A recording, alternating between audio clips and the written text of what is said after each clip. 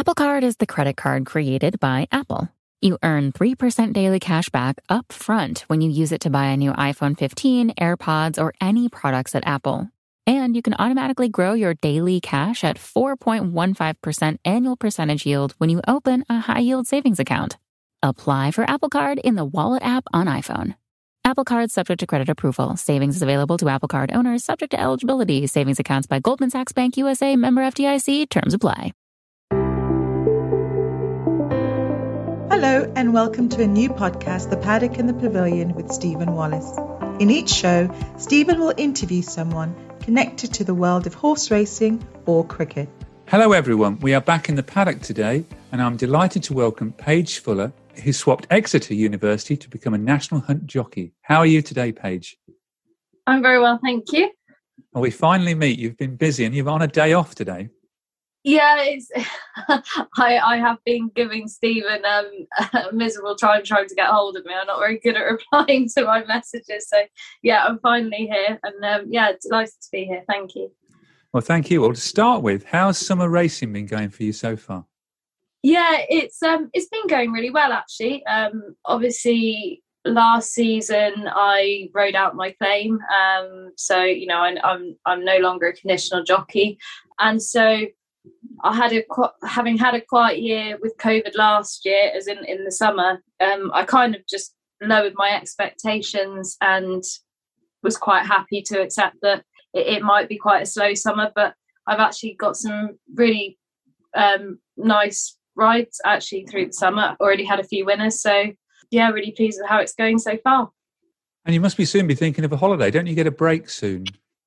Well, we do, but I, I, think COVID might be getting in the way way of that. We've got um we've got a two week break in August, but I'm not going to be double jabbed till halfway through that. So I don't think we're going to be going abroad, and um, I'm not sure there's going to be much left uh, on the market in the middle of August to get get away in England. But you know, it'd be nice to get away, and we've got a few days here and there through the summer. Um, next week, I think there's no racing. Wednesday, Thursday, Friday. So we, we do get these these patches with sort of uh, days off and that, which um, which is nice just to to recharge and and you know gather gather yourself together again. Well, that's one of the advantages of being a bit older that you I've been double jabbed, so that's uh, one of the benefits. But talking about COVID, how how has it affected your career uh, last year when you know summer racing was off? I think uh, we, you know, as jockeys are, are, very lucky that whenever, you know, we can ride whatever horses. So I was lucky. I I um I went straight back to Andrew Balding to ride out all through COVID, and actually, to be perfectly honest, it was it was a really nice change. Like obviously, we lead very hectic lifestyles, um, and actually, the first lockdown was was quite enjoyable. You know, I rode out every day and kept my fitness up. Um, it was it was quite a it was quite a struggle coming back into racing. Um, not not from that it was a, a struggle to go back into racing um, that I didn't want to. It was more actually the racing was so slow when it first started that there weren't many reasons for trainers to use me. Um, I think I had four rides the first month racing came back, um, just because obviously you had one meeting a day. So, you know, there was always the jockey available basically that the trainers wanted. And as a three pound claimer, normally you pick up rides by being, you know, someone's backup and all of that. Um, and again, it's why I sort of prepared myself this summer, having lost my three pound claim, um, to have a very similar summer. But actually, that's why I'm so pleased that it's it's not worked out like that. Um, but yeah, last summer it was um, it was quite it, it it it wasn't a tough summer, but it it was nice to get into full flow in September October time when racing started getting more often. It was noticeable that you know all the rides started picking up and and the momentum started getting going again. Well, you must have ridden some nice horses at Andrew Balding's. Oh, I ride some lovely horses at Andrew Balding's. and the thing that's lovely about Andrews is um, they're all middle distance horses. So you could easily argue that a lot of them are bred to be jumpers too. So it's not like sitting on these six furlong horses or five furlong horses that I've got absolutely no clue about. I can actually sort of understand a bit more um, about them. But they're lovely horses, and uh, I'm very spoilt to get to spend my summers there. Right. Well, let's just go back to where it all started. I know you began with pony racing. Is that right? Yeah, I started. Uh, I started pony racing when I was nine. It had literally just started then as well, so I was quite lucky that I, I had such a long time in pony racing. Though I wasn't very good at it, to be honest. I never won a pony race in my seven years of doing it, so um, it it gave me a lot of experience though, and I, I am grateful for that. Definitely. Oh, so the pony racing wasn't a grounding to where you finished up, where you are now. Well, I, I definitely think it helps. You do learn some really key key factors um, in in pony racing. You you learn about the start of a race. You, you don't necessarily learn about tactics, but there are plenty of things you can learn from the pony racing circuit. And definitely, when I started pointing at 16, I'd say that it, had helped me massively. Um, but yeah, I hadn't hadn't learned what the winners enclosure was like. That's for sure. so when you started point to point racing at that time, you hadn't um, considered going to become a professional jockey, though.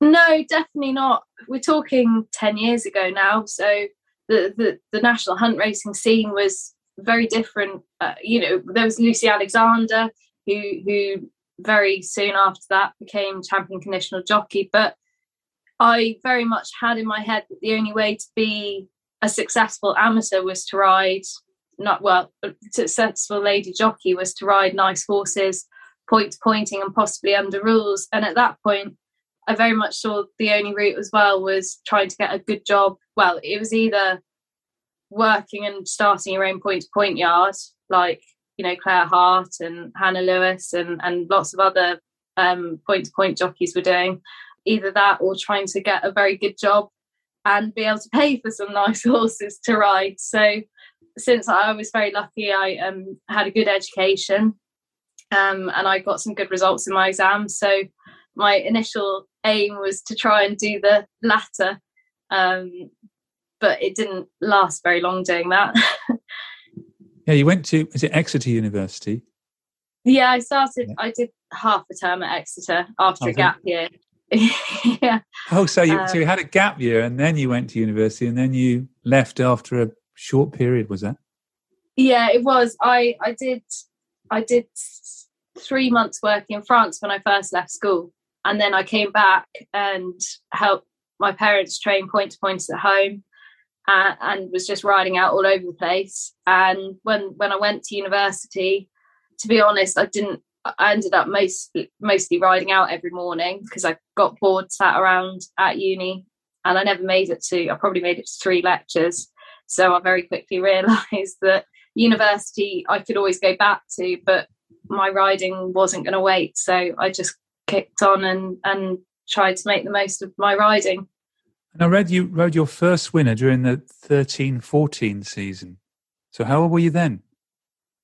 Uh, my first, yeah, that would be my first winner under rules was, I must have been 17. So, yeah, quite a long time ago now. and, and where, where did you ride your first winner? Um, I had my first winner under rules on a horse called That's Rhythm at Bangor in a hunter chase he was a lovely horse. We were we were really really lucky um, to to to get him.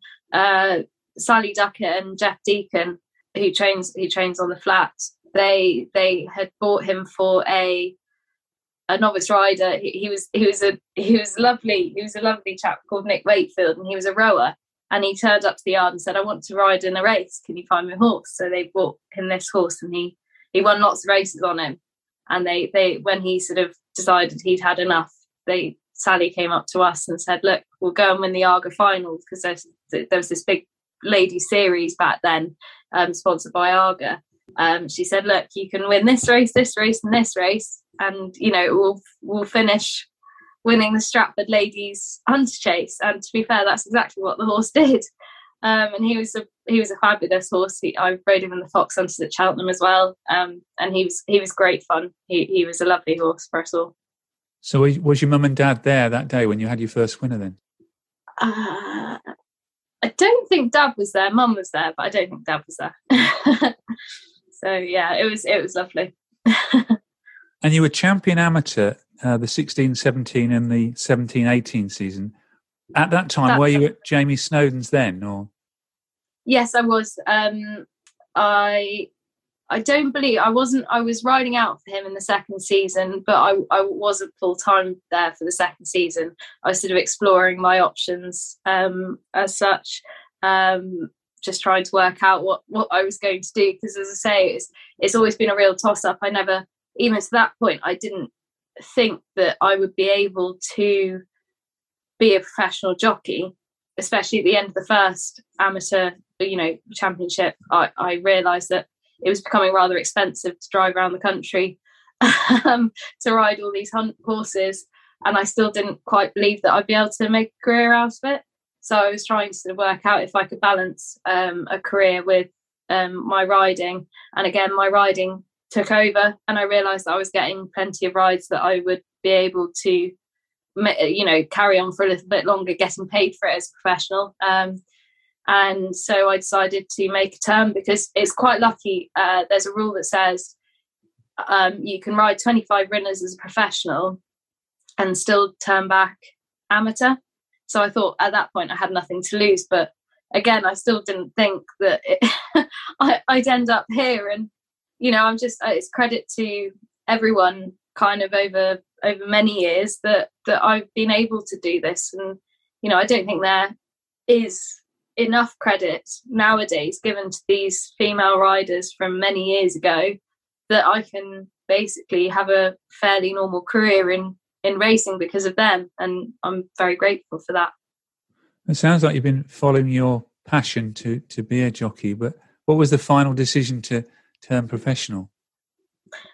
Um just the the the amount of support that I had you, you know you always sort of I was never attached to any big yards, and you always hope you, you, pick up rides in amateur races, and you hope that you'll keep riding winners. But it doesn't always mean that you'll you'll keep your contacts with certain people. And I, I actually realised I had a very very um, loyal base trainers that were using me on a regular basis, and especially Jamie. You know, he was he was still using me a lot, and I had been there a, a long time, and when I approached him about, you know, taking out my license, he was very supportive. Um, and he has been the whole way through my career. So, you know, it was, I, I was just, it was the right time. Um, you know, and I just started riding for the late Zoe Davison as well. Um, and that all seemed to fit into place. Everything just fit into place, you know. Um, so I'm, I'm just so pleased I did it, to be honest. Oh, it sounds like it. it. certainly beats being at university, doesn't it? And you've now uh, ridden nearly a hundred winners. It must have been a Got great. Eight. Sorry. sorry. no, no, eight to go. eight to go. So it's ninety-two. Eight I said nearly a hundred. Yeah. Yeah. well, look out for you when you reach your hundred. Um, and it must have been a real sense of achievement when you rode seventy-five winners to lose your claim. Definitely, because there there are many female jockeys that have done it. And more than anything else, as I said earlier, I think it wasn't a big deal, which is what I obviously it's a big deal for any jockey to ride out their claim. But the fact that it wasn't any more of a big deal, the fact that I was a female doing it, I really, I really, I really enjoyed because that's how it should be. If that makes sense, you know, it's not, it's not groundbreaking. We do it. It's a great achievement as a jockey, but it's, it wasn't a groundbreaking achievement and i really hope that it will just become the normal you know it should be normal that females are riding out their claims and i can't remember whether i was the sixth or seventh maybe who did it but hopefully there will be plenty more and and to me as well i think again it goes back to the fact that i really hope that there are plenty more jockeys that can do what i've been able to do female jockeys really well, we've had uh, Bryony win, winning the King George and, and, Rachel Blackmore being the top jockey at Cheltenham and also winning the Grand National. That says everything, really. For, that you know, females are jockeys. They're not not, not female jockeys. They're jockeys. Yeah, so exactly. Well, well, done to you to to actually uh, reaching your claim. But uh, and and I'm sure you'll get this 100 fairly soon. Now, I was going to talk about um, your Grade Two win at Sandown, which probably your highlight of your career so far. But I just wanted to talk to you about what it's like to be a national hunt jockey. Um, it's not it's not all glamour, is it? Uh, there's lots of things that uh, make it a, a challenging job. I mean, what about you said already about the traveling? You, you must be, you know, like an Uber taxi driver going around the country. Yeah, um, yeah. The traveling, the traveling's different from from many sort of perspectives. Uh, obviously, doing all that driving, you, you do get used to it, and and actually, it's a good network of jockeys. I wouldn't say many jockeys really um, have issues, proper issues with each other. So we do tend to try and share driving as much as possible. So we'll meet people, and you know we will try and take that um, some you know try and reduce our driving a little bit by doing that. Obviously, it's you know it's it doesn't happen all the time, so uh, you do have to do some of the long drives yourself, but.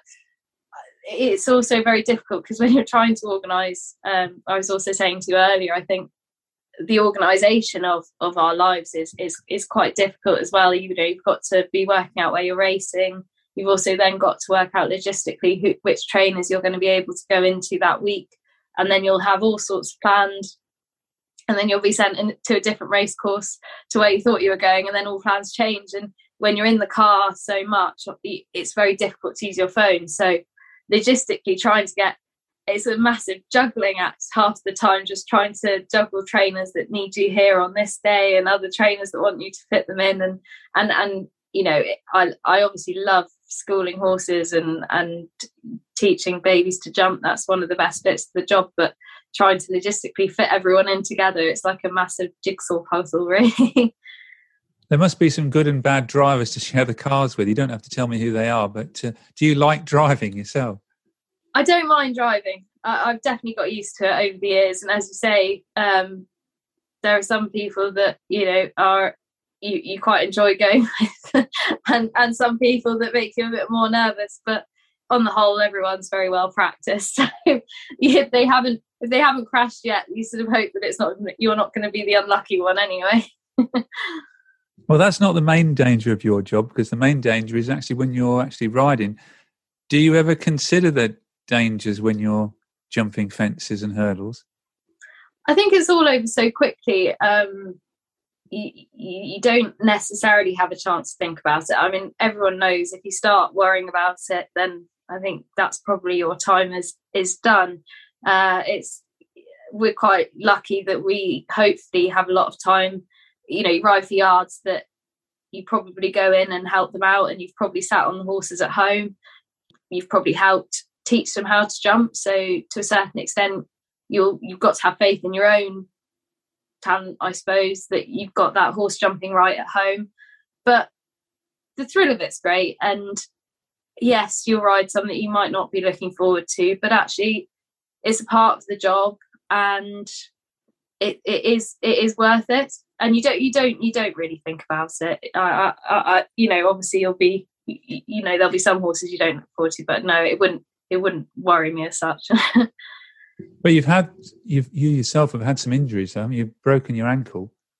Yeah, my ankle was probably probably my worst break. Um, I spent three months on crutches with that, so I was off racing for I think just over four months. Um, but again, it's part it's part of the parcel, uh, and you just can't really think about it. Obviously, the last year or so um, with poor Lorna, you know, it's it does bring it home, and it did you know, it naturally shakes you a little bit. But at the end of the day, we do 50,000 miles a year in the car.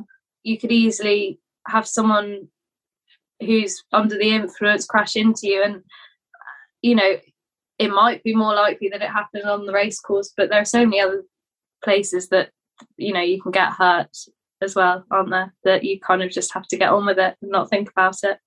But what's it like when you because you love riding so much and you're off for three or four months like you were with your ankle what's it like then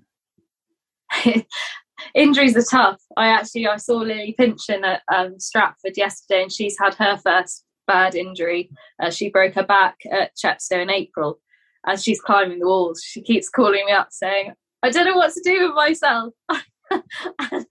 she keeps telling me she said to me, she keeps telling her boss, I'll be able to come back into the yard next week and potter about. And he keeps telling her just to stay at home and he'll get the all clear from the doctors. But no, I know how she feels. It's it, it mentally it's tough, but you I think it's a great time to mentally grow when you have an injury as well because you, you do have to manage yourself so much more and, and we're very spoilt as jockeys to have such great rehab centres in the in the injured jockey fund centres you've got um, Jack Berry, um, Oaksey House, and Peter O'Sullevan. And I'm luckily only 20 minutes from Oaksey House.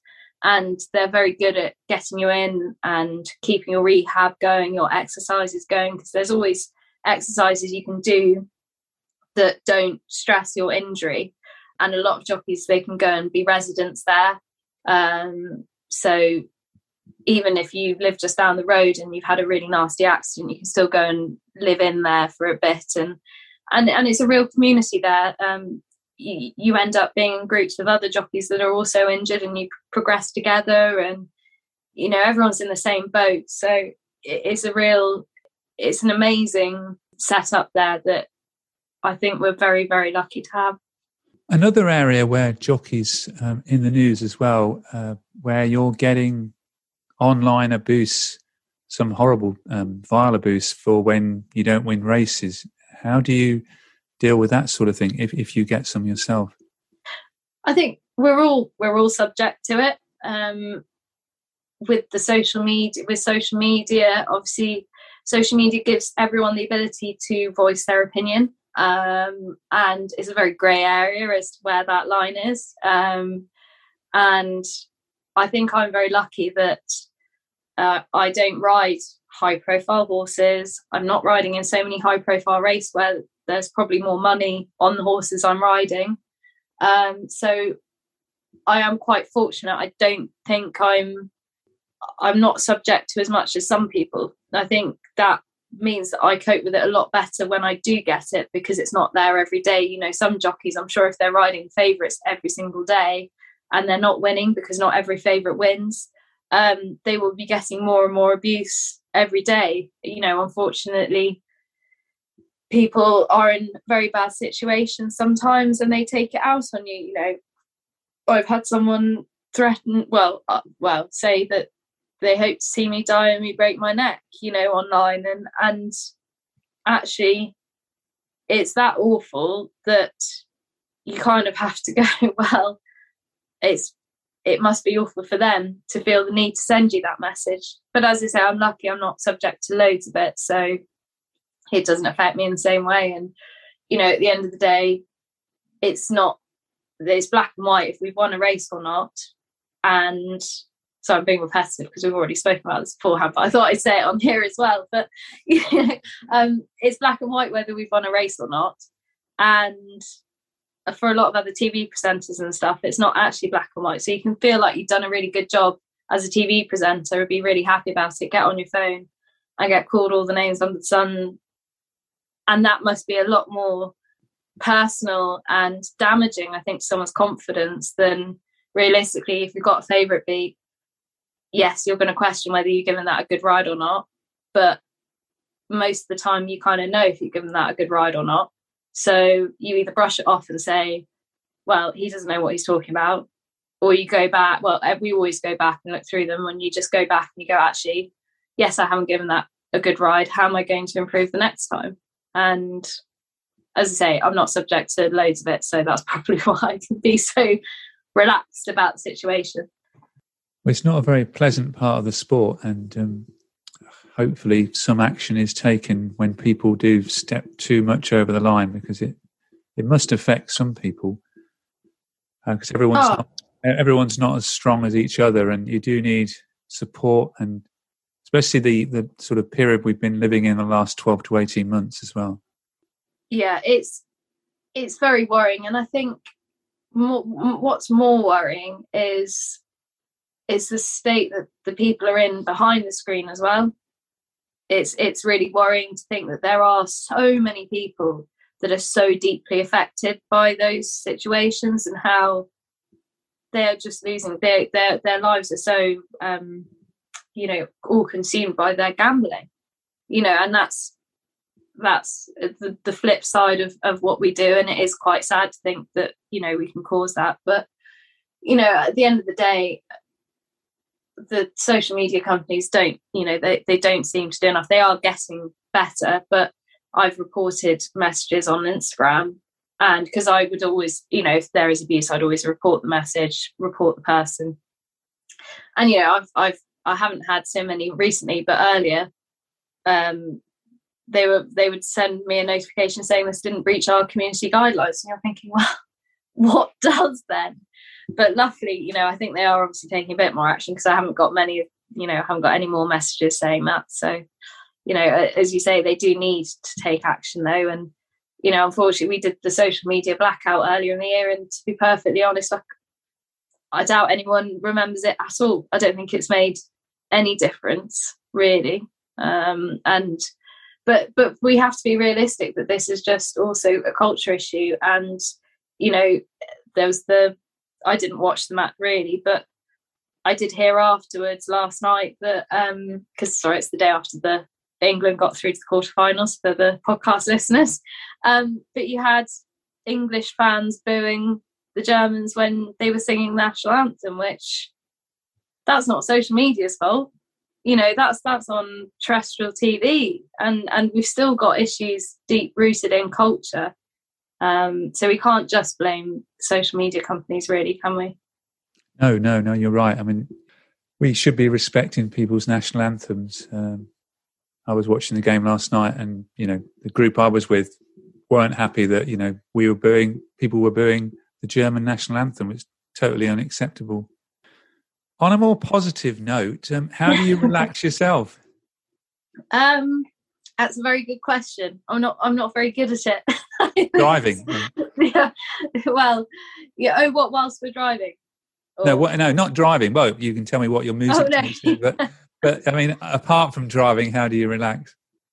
Um, I'm not very good at re- relaxing, to be honest. I think sort of I'm I'm trying. I, am very lucky. I've got a very supportive supportive partner, and um, he does try and help get me away from racing. Something he's teaching me how to play golf at the moment. Um, I feel I can finally admit that because we're three years in, and I can now just about get around 18 holes. So I feel like I can now admit to the fact that he's trying to teach me. But you, you know, I, I, I do. I'm, I am enjoying that, and it's going to sound really stupid, but we bought a house last year and I'm actually really enjoying being out in the garden as well and just getting out and doing a bit of gardening. I sound so old, but actually just getting away, any chance to put your phone down and just actually get away from it's so easy to sit sit down and watch TV and just scroll through your phone and you're not actually switching off, are you? Whereas actually um, I do sound like such a granny saying this, but getting out into the garden and just pottering and doing a bit of deadheading and planting up a few things it is it is uh, it, it has really helped me this summer in particular i think. Well let's talk about your i think your most famous victory a grade two win on anything for love at sandown in february 2021 is that your career highlight? I'd say it must be. It was it was very surreal having my career highlight with no one there though it was it was a very surreal experience really. Um, and you know i was very lucky that that day gavin had to go to fontwell. They actually inspected fontwell that morning um, and i hadn't realized they were inspecting because obviously i wasn't there and, and we were schooling that morning and gavin turned to me and he said i bet you're lucky that fontwell's on uh, happy that fontwell's on i was like i didn't even realize it was an option that it wasn't um, but you know she's a she's a lovely mare. Um the she's obviously a half sister to sizing john. And i won two bumpers on her. Um and obviously gavin you know rode her over hurdles. And we've always thought a lot of her. So to get on her on on, on that day yeah was very very special because you don't often get opportunities to ride in races like that let alone let alone win them so no i was yeah, it was a great day. And I read that she was at that time scheduled to go to Cheltenham, but she didn't did she pick up an injury or? No, um, no. She. We weren't sure what what we were going to do with her um, afterwards. It was sort of rain dependent. We obviously had a very dry March. It, it went to good ground, obviously, uh, for Cheltenham, and I think the races just weren't quite quite right for her because obviously the mare's straight mare's hurdle was two and a half, but it, you know that would have been quite a deep end, and then the mare's novice is a two mile race, so it wasn't really you know her, her optimum. She's going to be a stayer in time, so on good ground, it would have been a bit much of an ask to, to, to run her there. We, we we had hoped that we get another run into her before the end of the season, but as I say, the rain just never came before she had to go on her summer holidays. So yeah, we schooled her up over a fence before she went out on her holidays, and um, yeah, I think that would be the plan for next season, which is really exciting. Well, hopefully, you get a chance to ride her this winter then possibly. It would be nice. it would be nice, but uh, you know, it, we'll we'll see how the season season goes anyway. and and talking of Cheltenham, Cheltenham, are they the courses you like to ride, like Cheltenham Aintree, the big courses? Yeah, it's it's it's lovely to ride there. Um, obviously, I have been lucky enough to ride a winner at Cheltenham on Monbeg Theatre at the April meeting, and and that was another that was another massive highlight of mine of my career. Sorry, and um, but actually, I love winning races.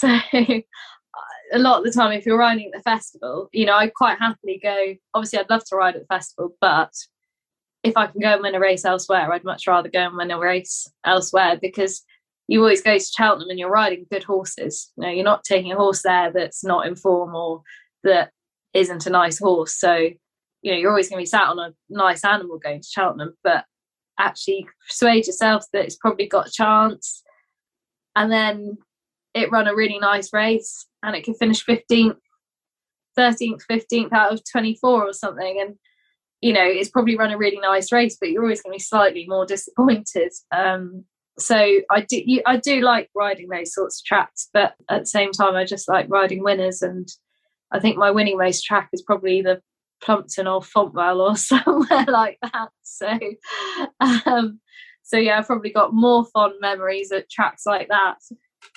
And what are your thoughts of um, the news the last couple of weeks that Cheltenham might go to five days instead of four?